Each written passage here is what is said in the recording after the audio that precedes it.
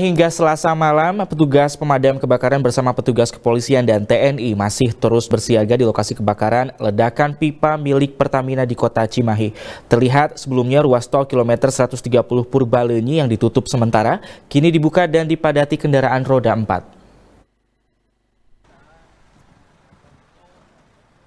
Area lokasi ledakan pipa milik Pertamina di lokasi pembangunan kereta cepat Indonesia Cina Bandung Jakarta Selasa malam tidak lagi mengeluarkan api karena sudah dilakukan pemadaman oleh petugas gabungan Damkar Kota Cimahi, Kabupaten Bandung dan Kabupaten Bandung Barat.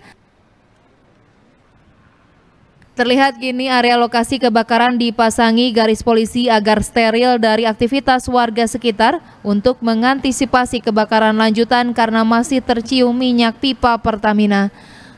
Lalu lintas di tol kilometer 130 Purbalenyi yang sebelumnya ditutup kini kembali dibuka. Meskipun arus lalu lintas terlihat macet yang didominasi kendaraan dari arah Jakarta menuju Bandung. Petugas Damkar Kota Cimahi Indra Hadi mengatakan pemadaman dilakukan melalui cairan kimia, sebelumnya pemadaman oleh air dilakukan selama tiga jam. Damkar juga meminta pihak Pertamina agar menghentikan distribusi minyak di kilometer 138. Menggunakan cairan kimia berbentuk foam. Nah, setelah kami uh, support menggunakan foam, uh, foam kami terbatas jadi setelah koordinasi dengan pihak Pertamina, pihak Pertamina akan menurunkan dua unit pom.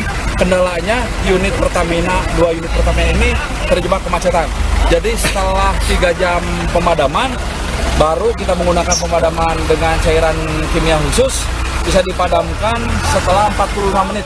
Sedikitnya 25 mobil dan puluhan petugas damkar dari kota Cimahi, Kabupaten Bandung dan Kabupaten Bandung Barat dikerahkan Hingga kini petugas kepolisian terus menyelidiki penyebab pasti meledaknya pipa milik Pertamina tersebut.